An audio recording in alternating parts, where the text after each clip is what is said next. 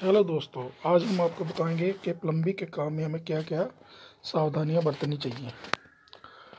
तो देखिए दोस्तों, ये हमारा ने प्लम्बिंग का काम किया है यहाँ पर। ये हमारी है मेन जो कि मोटर से सीधा पानी आएगा। ये हमारा हो गया गीज़र का पॉइंट ये हमारा शावर के लिए है, जो कि ऊपर जाएगा मिक्सर लगेगा यहाँ पर। ये ऊपर हमारा शावर हो गया। ठीक है दोस्तों।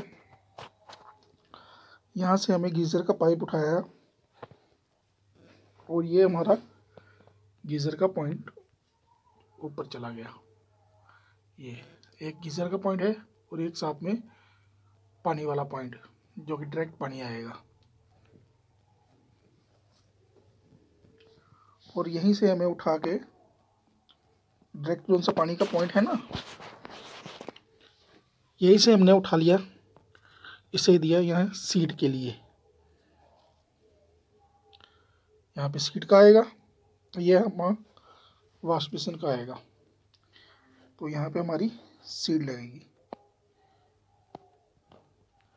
देखिए, हमने सभी पाइप इंची के डाले हैं। इंची के पाइप से पानी का फ्लो अच्छा रहता है। यहीं से गीज़र का पॉइंट उठाकर रसोई में भी देना है। तो देखिए, ये गीज़र का पॉइंट यहाँ से हमने उठा लिया। ये तीन पाइप गए हैं। एक गीज़र का, जो कि पानी का पाइप है। एक मोटर का डायरेक्ट पानी आएगा, एक टैंकी का पानी जाने के लिए।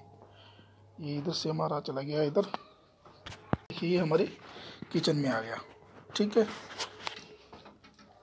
ये हमारा हो गया गीज़र का, और ये हो गया टैंकी का। और इधर ये है, मोटर का जो सा डायरेक्ट पॉइंट आएगा, और इसी में भी फ़िल्टर का पॉइंट आएगा यहाँ पर। फ़िल्टर का इधर सीधा इसमें लग जाएगा। फ़िल्टर की सप्लाई हो जाएगी, चालू हो जाएगी।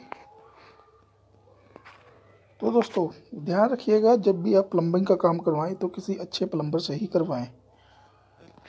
क्योंकि प्लम्बिंग का काम घर में सबसे महत्वपूर्ण होता है। क्योंकि अगर इसमें एक भी जोड़ अगर लीक हो जाए तो वह आपका पूरा घर ख़राब हो सकता है। इसलिए प्लम्बिंग जब भी काम करवाएँ, किसी अच्छे प्लम्बर से ही करवाएँ और देख लें कि प्लम्बर वो काबिल है या नहीं।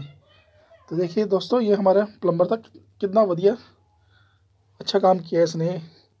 लगा के पॉइंट बिल्कुल एकदम सीधे एक लाइन में है। उन्हें प्लस्तर करके बिल्कुल टाइट करके गया है।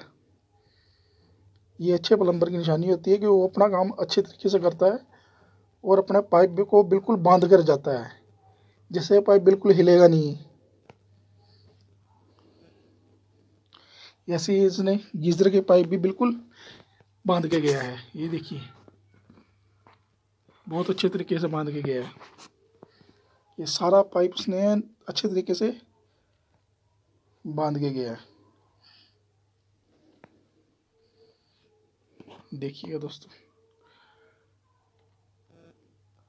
तो दोस्तों, अगर हमारी जानकारी आपको अच्छी लगे तो हमारे चैनल को सब्सक्राइब कीजिएगा और हाँ एक लाइक ज़रूर कीजिएगा, क्योंकि लाइक से हमें मोटिवेशन मिलता है आगे वीडियो बनाने के लिए।